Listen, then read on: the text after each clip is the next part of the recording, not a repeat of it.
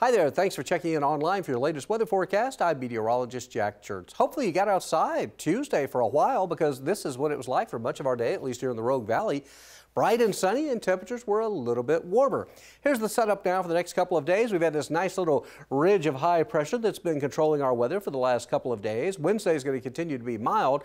There's a little weak cool front though that's headed in our direction that may bring about a few showers primarily at the coast I think starting Wednesday evening and into Thursday, but as you work your way inland, we'll likely see some clouds from that system and slightly cooler temperatures.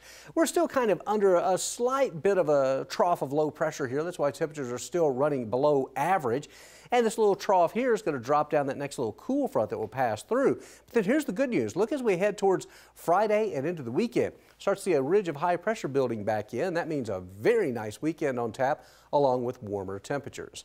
So the pinpoint forecast overnight through the early morning hours, mostly clear skies. Then we start to see a few clouds. We can see late morning approaching the coastal communities. And then in the afternoon, even pushing your way inland, there's a slight risk. A couple of showers could pop up here and there. I think this is probably a bit overdone. Most of the showers, I think, would be along the coastline.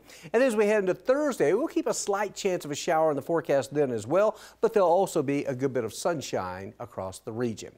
Speaking of the region, tomorrow sunny skies in Bend and 60 degrees, but becoming cloudy in the northern parts of our state, only 63 in Portland, but milder the further south you go.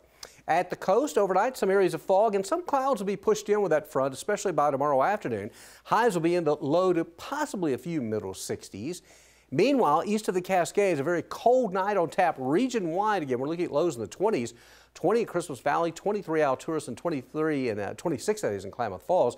Tomorrow's highs, though, a little warmer. We'll be in the 60s, and we'll start to see some clouds in the Klamath Basin by the afternoon.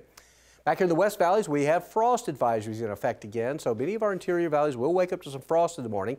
Lows 35 Ashland, 36 Medford, and in Grants Pass. But highs tomorrow, nice and mild. Upper 60s through the lower 70s. Still a little cooler than average for your Thursday. There's a slight risk of a shower. We're going to put that in for Thursday. Then look at this nice warm up. By the weekend, 80 degrees and sunshine on Sunday. Man, that looks nice, doesn't it?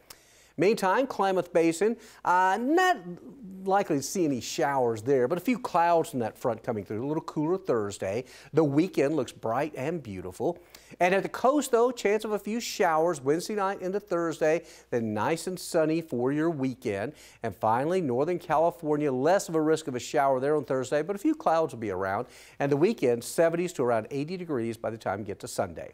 Hey, thanks for checking in online for this forecast. We always invite you to watch us over the air as well. That's at NBC5 News, and I sure hope you have a good one.